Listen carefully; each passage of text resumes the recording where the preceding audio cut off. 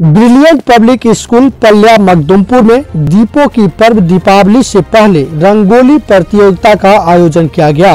रंगोली प्रतियोगिता में बच्चों ने एक से बढ़कर एक प्रिंटिंग बनाया। बच्चों की प्रिंटिंग देखते बन रहा था। स्कूल के चेयरमैन संतोष कुमार ने बताया कि बच्चों में प्रतिभा की कोई कमी नहीं होती है। बस ज़रूरत होता है उसे सही मार्गदर्शन देने की और समय पर उसे निखारने की। ब्रिलियंट पब्लिक स्कूल प्रबंधन को रंगोली प्रतियोगिता का आयोजन कर बच्चों के अंदर छिपी हुई प्रतिभा को बाहर निकालना है तो वहीं रंगोली में दिलचस्पी बढ़ाना है।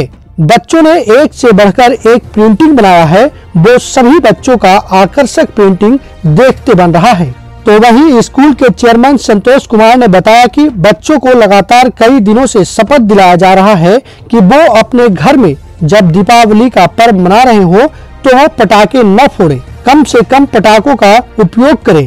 अपने आप को सुरक्षित रखें तो वहीं वातावरण को सुरक्षित रखें, क्योंकि प्रदूषण को रोकना एक बड़ी चुनौती है।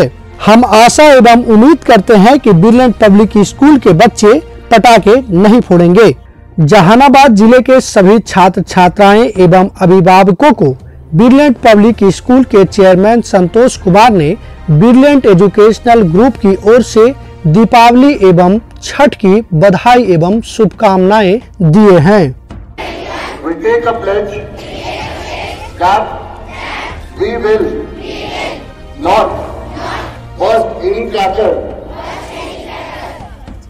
on this Diwali and will request to all our family members and our neighborhood burst crackers as